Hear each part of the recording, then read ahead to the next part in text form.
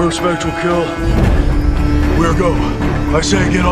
收到消息的所有小队立即锁降到核电厂的平台上，从四个方向对幽灵发起了全面进攻。大战在瞬间就进入了白热化。与此同时，马克几人也乘坐直升机来到了核电厂的另一边。他们决定从检修通道进入核电厂内部，从根源上解决制造幽灵的来源。谁知他们刚进入核电厂就遭遇了幽灵袭击，但这只幽灵似乎有些不同，仿佛是刻意在这里等着他们，任凭他们如何瞄准也无法命中。两名士兵决定牺牲自己，让马克两人进入核电厂内部。在打开一道铁门后，两人终于看见了事情的真相。这里就是叛军制造幽灵的生产车间，他们从分子层面扫描人类，然后二十四小时不停地用打印机创造幽灵。随后，他们来到了最后一处实验室，而就是这里藏着人类灵魂最大的秘密。他们发现那些被密封在舱门里的实验体，竟然全都是活生生的人类，但他们看起来却十分痛苦。而马克这时也发现了灾难的起因，这里有一半单元格遭到了破坏，被困在里面的幽灵全都逃了出去，实验人员也被幽灵全部杀死。他们立即找到创造幽灵的中枢系统，只要断开这里的所有电缆，就能彻底阻止这一切。